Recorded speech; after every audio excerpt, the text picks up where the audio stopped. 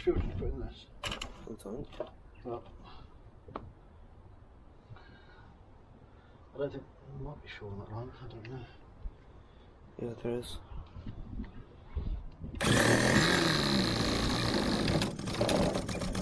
What is it you're doing with that throttle? Literally nothing. Right, leave it as doing nothing. That doesn't sound good. I should have broken the conrod. Switch it off. Well, that didn't go as planned. Um, welcome back to the channel if this is the start of another video.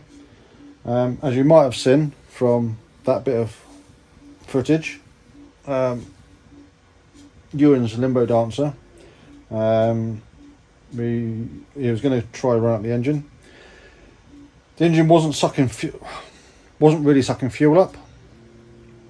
Um, we tried opening up the needle a lot, and we tried opening up the bottom end needle because I don't I don't know if you would have seen or not, um, but I actually tried to blow through the carb, and there was no flow at all. So I opened up the bottom end needle until there was flow. The when there was flow, we put everything back together, sucked some fuel through, put the starter on it, it sucked some fuel up, it popped and fired, and then something broke. We think it's possibly the conrod, but we don't know until we start taking it apart. So, after this little segment, you're just going to start taking it apart, find out relatively quickly what's. I don't know what to say to it, but something's wrong in this engine the biggest problem I've got is that this engine is obsolete.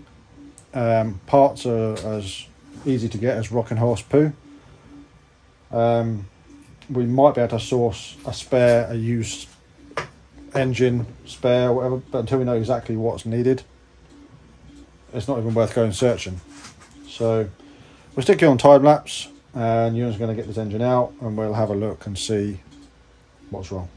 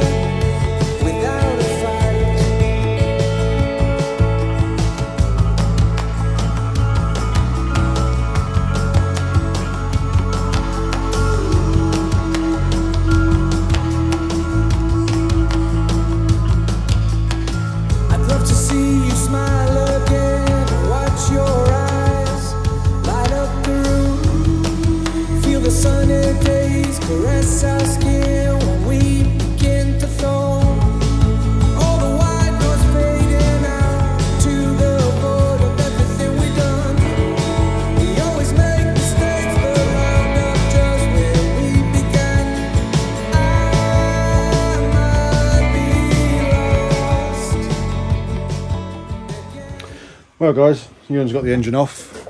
Um, it's not what we thought. It's not the conrod. It's the crankshaft. Kingpin has broken. Um, I'll stick a picture in here so you can see what we're on about. So, what might be an easier spare to find is still proving elusive on a quick search. Um, I've put a shout out on various different Facebook groups and whatnot. Has anybody got one? Um, when I go inside, I've got spare five minutes. I'll start trawling the different model shops to see if they've got one in stock anywhere.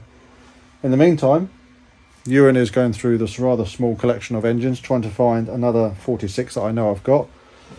It's not an ASP, it's a uh, Magnum WLX. Um, while I think about it, Ewan, it might be in a box right at the back. No, that box, the, the box of boxes right at the back, it might be in one of them. Could it be in this one? Could be, I don't know. So he's searching for that, and once we find it, he'll get that mounted up.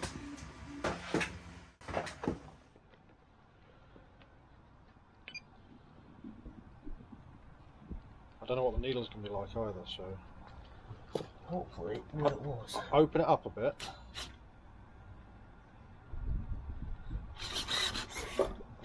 Yeah. Right, suck some fuel up by hand.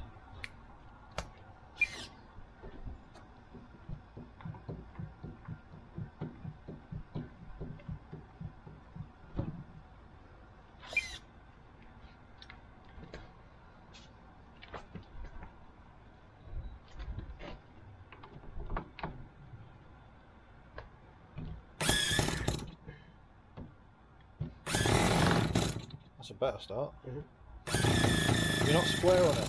What? You're not square on the starter.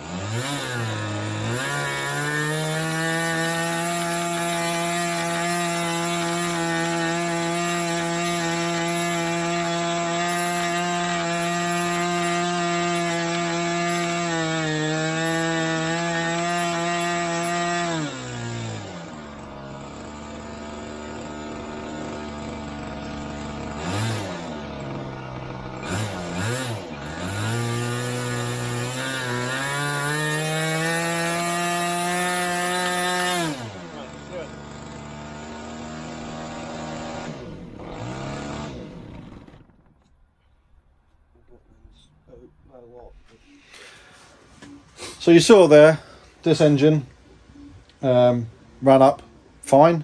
Um, yes, it's r- very rich at the bottom end. It's very rich at both ends. It's it's no the top end's not too bad. Yeah. It's, it's not going to get as much RPM as what you're expecting because it's a much bigger prop. Yeah. But it's running fine for just now for what. Bear in mind this engine hasn't run for over two years probably, and that's straight out of storage. Um, certainly better results than the previous engine that was in there. So, yeah, this engine has been running previously in another model, flown a lot. Um, it is rich at the bottom end, but that can be sorted later on when we actually go and fly it. We can do it at the flying field. Um, there's a few minor little bits that we've got to do, or Ewan's got to do, but that is the limbo dancer ready to fly. Mm-hmm. CG's all been checked, it's all fine. Um, everything's ready to go. I think we have to give it a good eyeball over before we fly it, but Mhm. apart from that, it's ready to go, isn't it? Yep. Yeah. Yeah. So, yeah. So that's another model ready to go. Um, probably get some flying footage of it at some point when it flies. But uh, until the next time, from myself and Ewan here in the workshop, we'll catch you later. Bye.